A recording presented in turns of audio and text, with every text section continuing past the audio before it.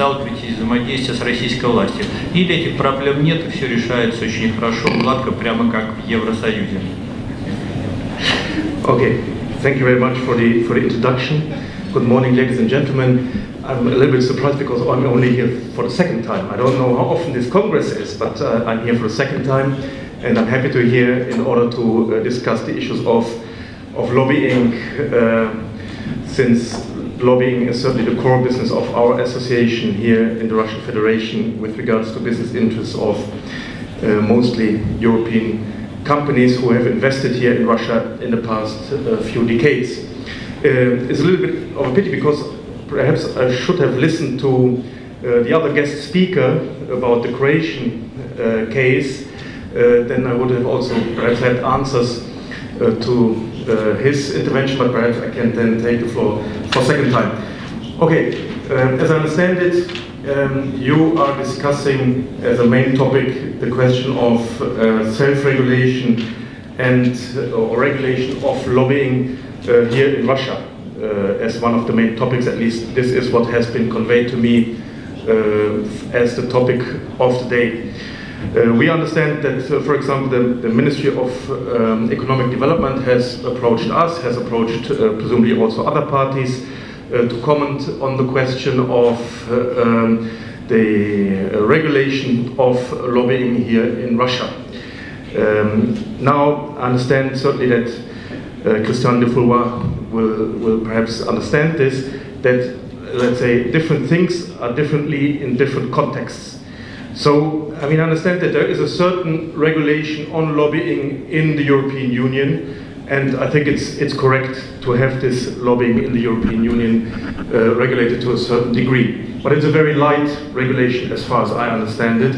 And as I understand it, your, your association is participating in, let's say, discussion with European Commission and other institutions how to uh, have this light regulation uh, being practiced. but here in Russia, I have to say I'm basically against a regulation of lobbying. Because, in order to say very clearly, Russia is a, is a country where mainly you have lots of regulations. And I think it's better for transparency, for uh, flexibility, for, let's say, the free competition also between those who are, uh, let's say, expressing interests of different parties, not to have a regulation, because the regulation here in Russia has a tendency to favor certain parties. And this is, I think, not good. I think there should be one basic regulation, which is, let's say, the exclusion of uh, corruption, which seems to be a pretty big problem anyway already here in Russia, and let's say the use or rather abuse of money in lobbying, uh, because I think it's uh, mainly the, the, the, free competition between arguments and interests which should uh, be the decisive moment, not money because uh, certainly if you're competing uh, with regards to lobbying and pressing through your own interests, in terms of paying money. The others will also answer with paying money, and then you pay and pay and pay, and then in the end, um, the result might not be very favorable for the development of a, um, let's say, civil society, of an economy, etc. So I saw that request from the Ministry of Economic Development. I have to say, I'm in favor of having as few regulation as possible in lobbying here in Russia uh, understand so that the context is a different one than in the European Union. But since regulation here in Russia has a tendency to be heavy, I think uh, this is something which is not going to be helpful neither for us as a business association nor for you as uh, GR representatives of individual companies. Uh, because it will create in the end a non-even playing field which will give access to certain players and uh, main, uh, less success for other players. So now perhaps I just say two words about um, one or two, let's say, legislative processes here in Russia, which we are um, involved in and which I think are of major importance, especially, let's say, on the background of the WTO accession uh, of Russia, and uh, which also show, from my point of view, a little bit that um, there is a tendency here in Russia um, to regulate things but to regulate it not along the mainstream of um, the international uh, development, but to have, let's say, a specific Russian solution. And this, from my point of view, creates problems for the Russian economy, for the Russian society itself. First, there is a, a very long discussion right now, it goes on for two years or even longer, of the prohibition of uh, uh, outstaffing, outsourcing, agency labor, secondment. Um, this is a process which is very interesting because uh, from the side of the trade unions, which is understandable, it's a legitimate position as well, there is the demand to uh, prohibit outstaffing.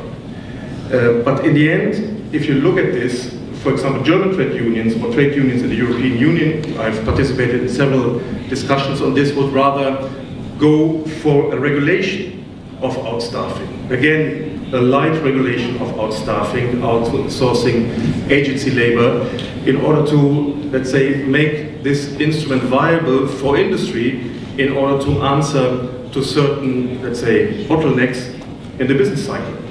And this is what we have seen in the European Union, for example. But here in Russia, obviously there are very big interests to, let's say, go into a different direction. But this different direction is completely going counter to, let's say, experience in most of the developed countries. And it's interesting that Russia enters WTO, thereby certainly also going into the direction of the international mainstream, but for example, in this case, is trying to uh, establish a practice which is going counter to the international experience. Another big thing, from my point of view, I think it's, it's not a very nice topic, but it's a very important topic, it's waste management. We see also for more than a year now in the Russian government, in the Russian uh, parliament, in the press, in society, a discussion about how to establish a modern recycling system. And here you can see uh, that very, let's say, essential interests are being uh, pushed through the uh, political channels because we see that there is a move towards uh, having a heavy regulation again uh, in favor of a new recycling system, which means that there will be a, a kind of tax being established for, um, let's say, waste management, that there shall be a, a, big national fund being established, which is fueled by this tax, uh, and that this fund is going to be managed, uh, let's say, in the interest of those who have or should develop the technology and the basis, the technological basis for recycling here in Russia. From our point of view, this is again going against the international experience. There's a Russian solution here, which from our point of view is not helpful, because it's, it's favoring specific business interests and is going, in principle, against the majority of business and economic interests and even interests of the society here in Russia. Because such a system should not be as expensive and money-making as possible for those who are operators in the scrappage or recycling area, but it should certainly be helpful in order to have a rational way of dealing with waste. And this is only possible if there are, for example, the manufacturers uh, are part of the system who are controlling this. It uh, has to be as few money as possible in order to keep it economical. But here in Russia, you have a discussion now which goes, from our point of view, into a wrong direction.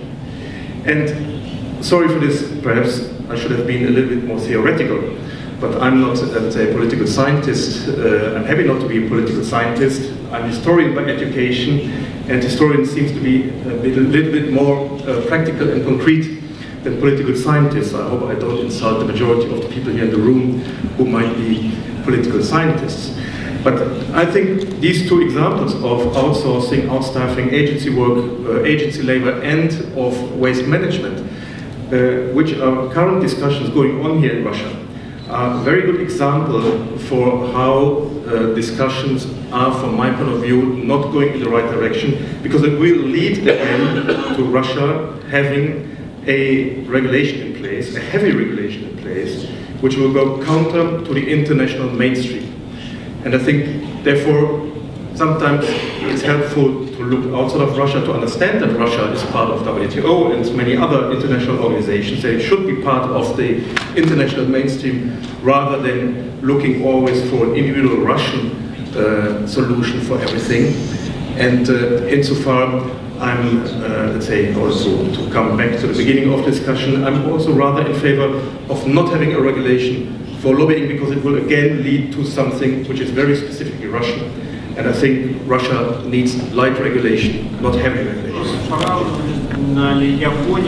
М, Франк, что вы э, так очень вежливо, дипломатично выступаете против, возможно, принятия закона о лоббизме в России, который сейчас обсуждается в декабре месяце, там планируется э, его дать на рассмотрение президенту? If the, if the question is if I'm against a law uh, on lobbyism, uh, in tendency, yes. Because I think it's, it's going to be overregulated, and this overregulation is going to lead to uh, less flexibility, less ability really to discuss things in a proper manner, and it will rather favor certain uh, players and, let's say, prevent participation of other players. It's not going to create an even playing field here.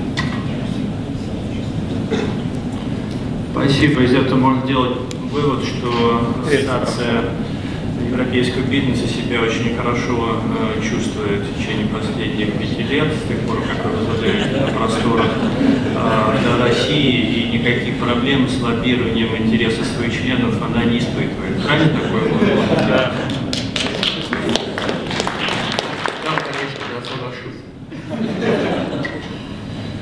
Окей, и в порядке статистики, Франк, так как вы второй раз принимаете участие в ЖАР-конгрессе, а их всего было четыре, поэтому в половине, э, в половине мероприятий Конгресса уже приняли участие, так что вот реплика изначально, чтобы часто гость, она полностью оправдывается.